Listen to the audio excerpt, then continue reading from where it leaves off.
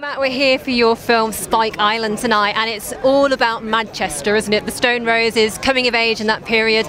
Tell me a bit about capturing that anarchic spirit of that age on screen.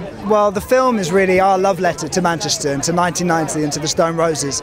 So it was really key that we try to get it as close as possible to that time. And I think it's, it's funny because I don't really think of it as being a period film, but of course it is. You know, so it's 30 years out of date, but it's still, as soon as you point the camera anywhere, you're seeing cars which are wrong, you're seeing parts of Manchester which are wrong, people are wearing the wrong clothes. So we spent a lot of time trying to get it as accurate as possible. We tried different kind of tricks. We used visual effects. We obviously had an amazing costume department and uh, you know production designer, and we spent a long time just trying to get everything right, looking at photos, looking at video footage from the time, and also the other thing is kind of training our kids to kind of speak in the way they would have spoken in 1990. Actually, there's a lot of words we had to sit on them and go, no, you can't say that because that's that's new, you know. So um, it, it, it, took a bit of work, but it was it was really crucial because I think you know audiences can sniff it out when it's wrong.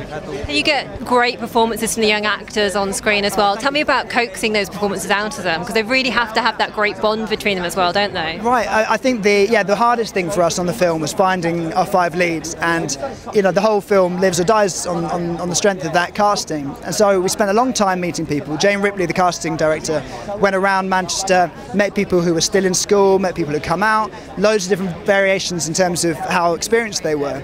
And we always felt that the script's quite tricky to get your teeth around. You know, I think you need a level of experience to be able to, to be the main lead. So Elliot and, uh, and Nico have obviously done have had more experience and done more TV than the others. The other guys were really get kind of out of out of college, and they're absolutely fantastic. So as soon as we cast them, then we spent time just getting them to hang out with each other. They were learning instruments. They were playing playing in a band together, and then we also they went off to Amsterdam and they just spent time just traveling and hanging out.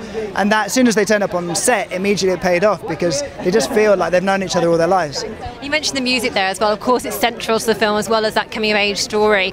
How did the, how much experience did the guys have with music, instruments, singing, and stuff before this? Because they've got a band in the film, right. haven't they, called Shadowcaster? Yeah, it was. I mean, the, the level of musical knowledge within our five leads was practically zero. There's one of them who plays guitar, and but we ended up making him play bass, which he hadn't done before. So it was very tricky. I mean, initially I'd said, well, look, like we did on uh, another film I did called Sex and Drugs, we need to cast musicians who can act. But we looked around, and actually, it's you know to pull off what they needed to do in, in the film. I think it needed to be the other way around. You need to find really great actors who might be able to become a little bit musical by the end of it. So it was hard. You know, they worked really, really hard on each of their respective instruments, and they spent a lot of time jamming together. Mani even turned up to one of their sessions to kind of g them up and stuff. So it was it was good, and they used that to kind of bond as well.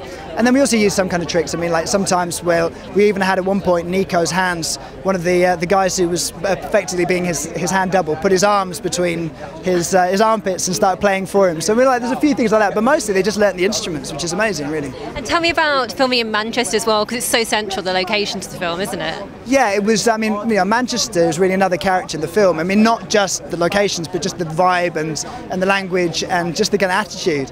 So in that sense, it was you know it was really crucial that we kind of found the right places, and we talked a lot about uh, you know finding the exact kind of neighbourhood that we wanted to, to show in the film. I think Chris, the writer, in his mind was thinking about somewhere a bit more suburban, somewhere that was closer to where he'd grown up. And we looked at it, and it just felt it wasn't didn't quite click in the way it wasn't instantly iconic in the way that we were hoping. So we looked around. It took a long time to try and find an area that that really worked. We had you know, when we arrived, actually generally 99% of the people treat us really well, but we, we had a bit of an incident on the first day where someone ended up spraying us with a hose pipe and chucking eggs at us. So that was our kind of our welcome day one, and luckily it calmed down and he left after that. I'm glad to hear that, definitely. So what can we look forward to next from you, Mat?